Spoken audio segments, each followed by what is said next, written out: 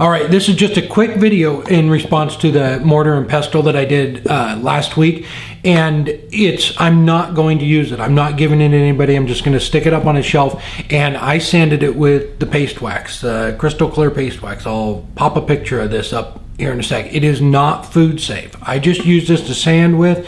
I get a lot of requests for you know making different things, and a lot of times I'm not going to use it. I'm not selling it or giving it away to anybody and I will just sand something that that might be, you know, make a bowl or something and you might want to use it for food. And this is not a food safe finish. It says right on the manufacturer's website that it's not. So I don't want anybody to think that it that it that it is.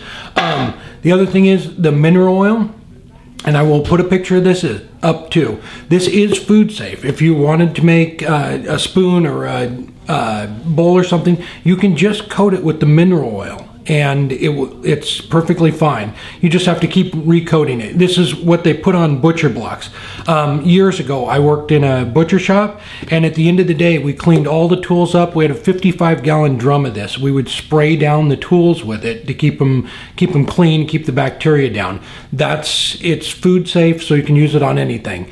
Um, there are a lot of different food safe products out there. This is just I use this and um, salad bowl oil is the only other two that I use right now. And I may try something, but I will I will definitely mention that in the next video that I do.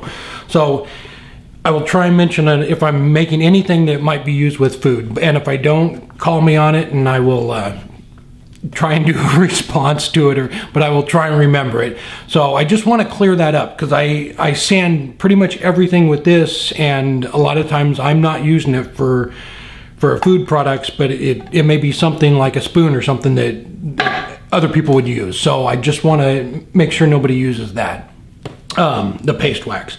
But I will put a detailed picture up, and I, if you go to um, Wikipedia too, I I just Googled this. It it tells you exactly on there what it's used for to you know, and that it is food safe. So I hope that clears it up.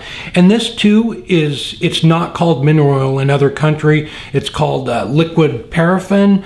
Um, I think it mentions that in the description, um, and I will copy and paste that down below in the description too, so everybody can read that that this is this is safe.